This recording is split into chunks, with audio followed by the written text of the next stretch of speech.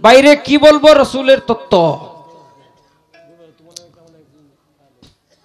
রসুলে পাক সাল্লাহ আলাইসাল্লাম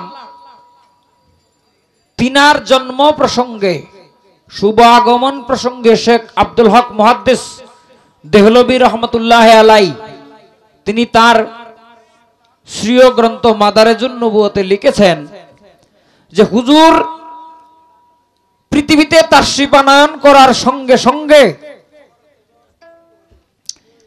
তিনার যে শাহাদত আঙ্গুল মুবারক, সেই আঙ্গুল মুবারক উপরের দিকে উঠায়া বলেছিলেন ইন্নি রাসূলুল্লাহ। এটা ছিল রাসূলের নিজের কালেমা। অর্থাৎ তিনি দুনিয়াতে এসেই সাক্ষ্য দিয়েছিলেন যে আমি সাক্ষ্য দিচ্ছি, আল্লাহ ব্যতীত পূজনীয় কেউ নাই, আর আমি মুহাম্মদ নিজেই আল্লাহর রসুল। চিন্তা করেন যে লোকটা, যে শিশু বাচ্চাটা দুনিয়াতে আসার সাথে সাথেই তিনি যে আল্লাহর রসুল। এই এই রেসালাতের সাক্ষ্য দেয়, আল্লাহর তৌহিদের সাক্ষ্য দেয়। উনি কি সাধারণ মানুষ? সাধারণ মানুষ নয়। এরপরে তিনি কালেমায় শাহাদাত পাঠ করেছিলেন। এটা মা আমেনা রাদি আল্লাহ তালানহা তিনি বলেন, আমার বাচ্চাটা যখন পৃথিবীতে ভূমিষ্ঠ হইল, তখন আমি নজর করে দেখতে পেলাম তার ঠুট মুবারক নড়ছে। তখন তার ঠুট মুবারকের কাছে আমার কানটা নিয়ে শুনি সে বলতেছে লা ইলাহা ইল্লাল্লাহ ইন্নি রাসূলুল্লাহ। এরপরে বলতেছে কালেমায়ে শাহাদাত আশহাদু আল্লা ইলাহা ইল্লাল্লাহ ওয়াহদাহু লা শারীকা লাহু ওয়া আশহাদু আন্না মুহাম্মাদান আবদুহু ওয়া রাসূলুহু। বাহ। তারপরে তিনি বলতেছেন ইয়া রব্বি হাবলি উম্মতি ইয়া রব্বি হাবলি উম্মতি। শেখ আব্দুল হক মহাদ্দেশ দেহলবি আরও বলেন নবীজি পৃথিবীতে জন্ম নিছেন। আমরা যারা পৃথিবীতে জন্মগ্রহণ করি, আমাদের মাতা আসে আগে, আর রসুলে পাক সাল্লাল্লাহু আলাইহি ওয়াসাল্লাম তিনার পরনে কালো জুব্বা ছিল, কালো রঙের মোজা পরানো ছিল। খতনা করা অবস্থায় তিনার পাও মুবারক দুনিয়াতে আসছে আগে। জিজ্ঞাসা করছে যে এত কিছু কয়ে লই কি বলেন? খারাপ লাগে? আচ্ছা এখন তার জিজ্ঞাসা কথায় চলে যাই। এটা ছিল আমার গানের কথা। মাওলানা রুমি আলাইসাল্লাম বলেন, মাওলানা রুমি আল রহমান বলেন হাসলে আসলে ইমান রুহে কোরআন মগজেদিন হাসতে হুব্বে রহমাতুল্লিল আলামিন।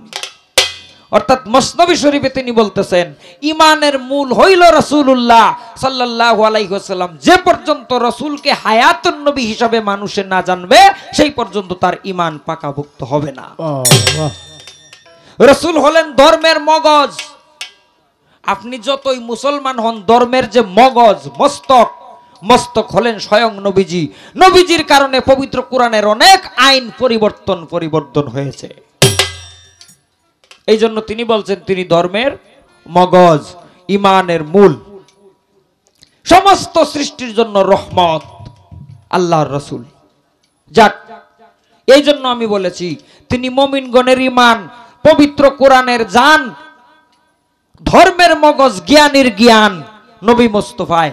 পবিত্র কোরআন শরীফে ছয় হাজার ছয়শো ছেষট্টিটি আয়াত আছে। এর মধ্যে তিন লক্ষ ষোলোশো উনষাটটা হরফ আছে।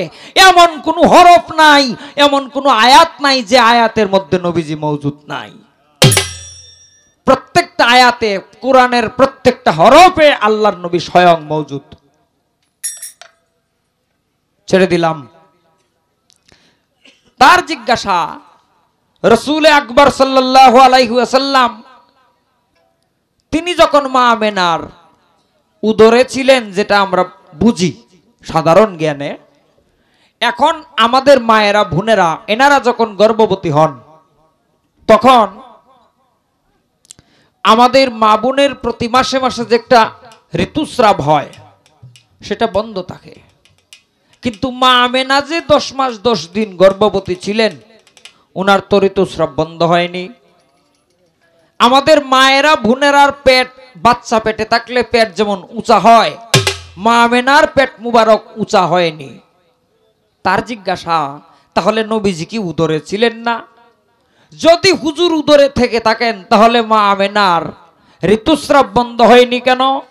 মা আমেনার গর্ব উঁচা হয়নি কেন? আর যদি তিনি উদরে না থেকে থাকেন, ছিলেন কোথায়? গোলাম মুস্তফা লিখেছেন বিশ্বনবী সাল্লাল্লাহু আলাইহি ওয়াসাল্লাম নামে এক গ্রন্থে মাওয়াহিবলা দুনিয়া ইমাম কাস্তালানি রহমতুল্লাহ আলাই লিখেছেন, দালায়ালুন নবুয়াত ইমাম বাই হাকি রহমতুল্লাহ আলাই লিখেছেন। ইনারা লিখেছেন যে, মোহাম্মদুর রসুল্লাহ সাল্লাহ আলাইসাল্লাম তিনি আমাদের মতো বাচ্চা রূপে মা মেনার গর্বে ছিলেন না। তিনি হলেন নূর, আল্লাহর নূর, মা মেনার ললাট মুবারকে তিনি নূর হিসাবে ছিলেন। অর্থাৎ রসুল্লাহ সাল্লাহ আলাইসাল্লাম মা আমেনার কপালের মধ্যে নূর হিসাবে চমকাইতেন।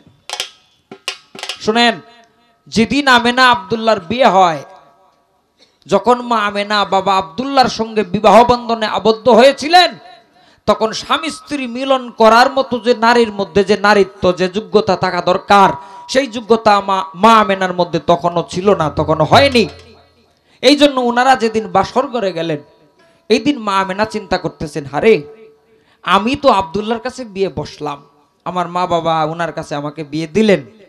কিন্তু বাসর করে স্বামী, স্ত্রী, স্বামীকে যে ধন, যে রত্ন, যে সম্পদ দিয়ে খুশি করে, সুখী করে, সেই সম্পদ তো আমার মধ্যে নাই। এই চিন্তা করে হ্যাঁ সাত বছর মতান্তরে নয় বছর, এখানে একটু মতবিরোধ আছে। আচ্ছা যাই হোক এটা কে বলছে জানি, আমি শুনছি আচ্ছা তো এখন আমেনা এরকম একটা অনুশোচনা করতেছেন যে আমি আমার স্বামীকে আজকে কি দিয়ে সুখী করব। এইরকম মনোভাব যখন আবদুল্লাহ বুঝতে পারলেন তখন মা আমেনার এসকে বিবুর হইয়া উনার অন্তরকে খুশি করতে গিয়া মা আমেনার ললাট মুবারকে আবদুল্লাহ একটা চুমু দিয়েছিলেন।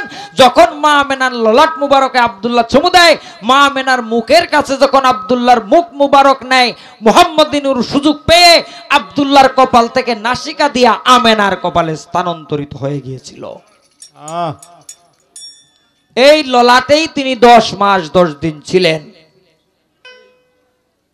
তাহলে গর্বে তো কোনো সন্তানই নাই। যেহেতু গর্বে কোনো সন্তান নাই, তাহলে পেট উঁচাওয়ার দরকার কি? হ্যাঁ হ্যাঁ? আর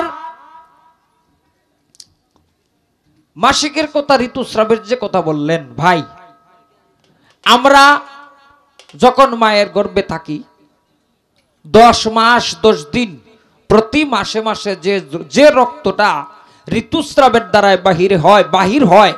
আল্লাহ পাক রব্বুল আলমিন তার কুদ্রতে কামেলার ধারায় মায়ের নাবির সঙ্গে এবং সন্তানের মুখের সঙ্গে একটা তার লাগায়া, সেই রক্ত পান করায়া দশ মাস, দশ দিন শিশুকে মায়ের গর্বে বাছায়। আচ্ছা আপনারা বলেন তো এই রক্তটা কি ফাঁক না না ফাঁক? কথা বলবেন। ঋতুস্রাবের যে রক্ত কয় হয়, এটা কি ফাঁক না না ফাঁক? না ফাঁক। রসুল কি ফাঁক না না ফাঁক? রসুল পাক। আর এখন মা বোনদের যা হয়, মা আমেনার যদি তা হইতো, এটা ছিল না নাফাক আচ্ছা আপনারা বলেন, পাক রসুলকে কি আল্লাহ না নাফাক বস্তু পান করাবেন? করাবেন না। এই জন্য নবী করিম আলাইসাল্লাম আপনি আনোয়ার আমি অলিদ, আমরা যে স্থান দিয়ে মায়ের গর্ভে দেশে গিয়েছি, রসুল এই জায়গা দিয়ে জানো নাই, এই স্থান দিয়ে তিনি পৃথিবীতেও আসেন নাই।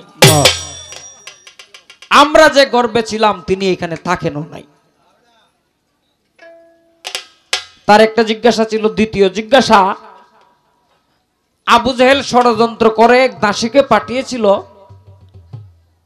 বিষের পেয়ালা দিয়া দুধের সঙ্গে অথবা শরবতের সঙ্গে বিষ মিশিয়ে দিয়ে পাঠিয়েছিল, যে বিষ পান করিয়ে আমেনাকে এবং তার গর্ভের নবজাতক শিশুকে হত্যা করবে।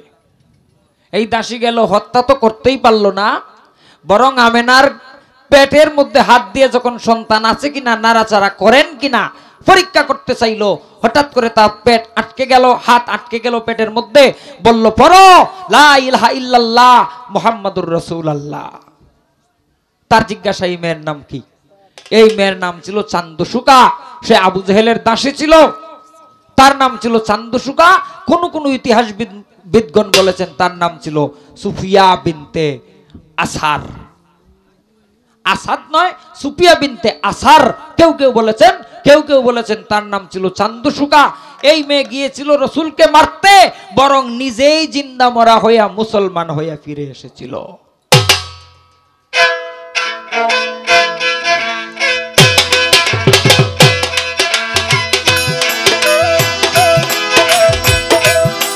এই তো তার জিজ্ঞাসা ছিল। আইরে দর্শক ভাই যাহা জানি ক্ষুদ্র জ্ঞানে জবাব দিয়া যায়। এবার নতুন করে আত্মার বিষয়ে জিজ্ঞাস করতে চাই বন্ধু হে।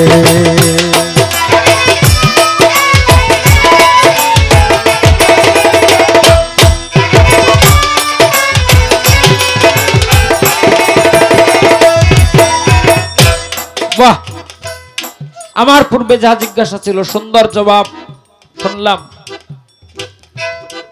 এখন আমার জিজ্ঞাসা।